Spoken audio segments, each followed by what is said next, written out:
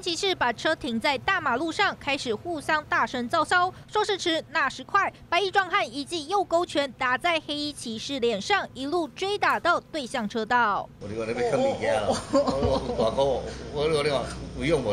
骑士吃了两下膝盖踢击，整个人往后退，还将自己机车撞倒。壮汉一记左勾拳将对方打倒在地，之后又是左右侧踢，黑衣骑士根本无从还击。壮汉男像打上瘾了，回头再补踹一脚，甚至狂揍脸部。一旁民众看不下去，出面制止，赶快报警。就是粉红色那一台摩托车在后面，他可能就刹车不及去撞到他而已。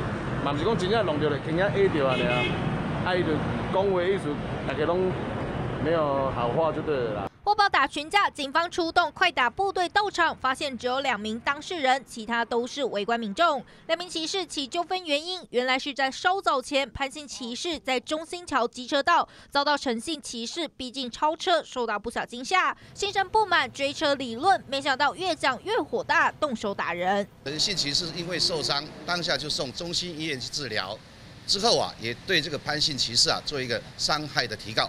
这名潘姓骑士身高约一百七十公分，体格虎背熊腰，出手招式一下踢击，一下左右勾拳，搭在安全帽上毫不迟疑，让人怀疑是不是专业武术人士。看起来是不是像是一般习武之人？因为有在练的人，我们才知道说这种东西其实是呃已经非常有危险性的。开打不到五秒，迅速将人撂倒在地。真正武打技巧，瞬间就让人失去反击能力。但如果这样的技巧用在一般人身上，恐怕非死即伤。只是单纯行车纠纷就施展拳脚当街把人痛殴，恐怕也是目前警方处理最夸张的路怒一族。记者陈家豪、陈子芳台北报道。